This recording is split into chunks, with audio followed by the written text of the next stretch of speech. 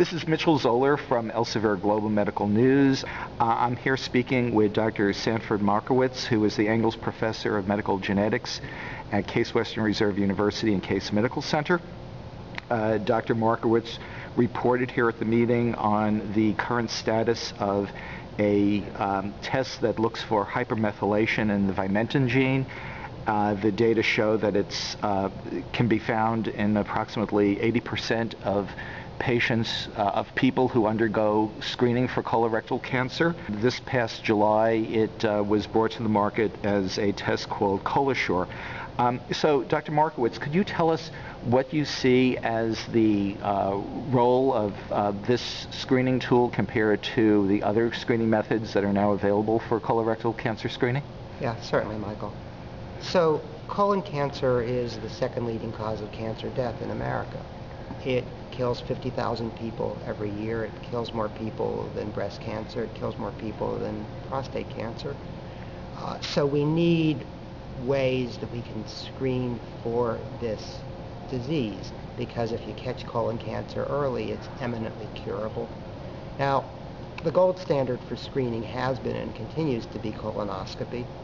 Uh, however, we have not effectively been able to use colonoscopy to screen the entire population.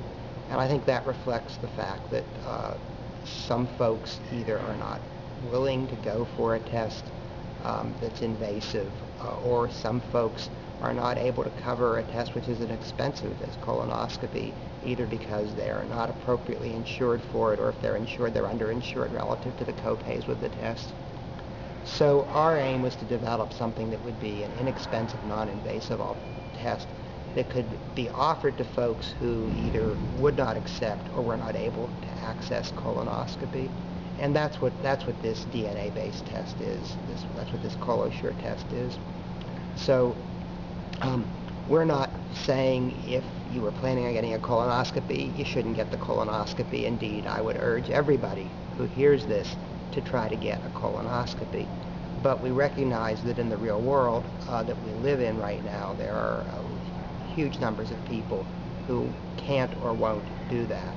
And for those folks, we can now say we have an alternative that can pick up about 80% of colon cancers um, and also seem to be able to pick up about 80% of large premalignant colon polyps that can become cancers.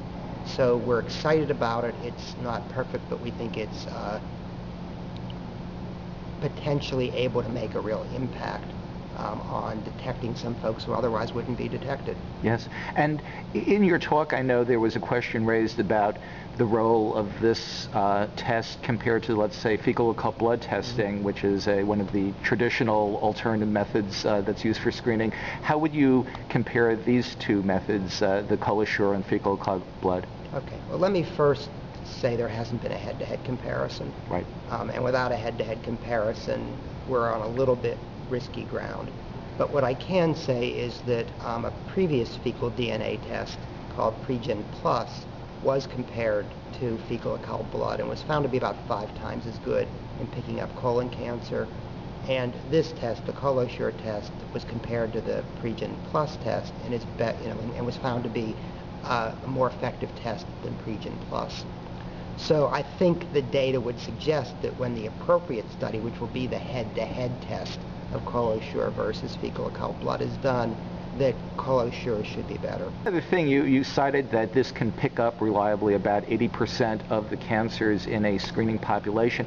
What about the other 20%? Is there are there any prospects for, um, say, adding to this test uh, yeah, in the I think future? There, I think there are good prospects, and uh, write your congressman.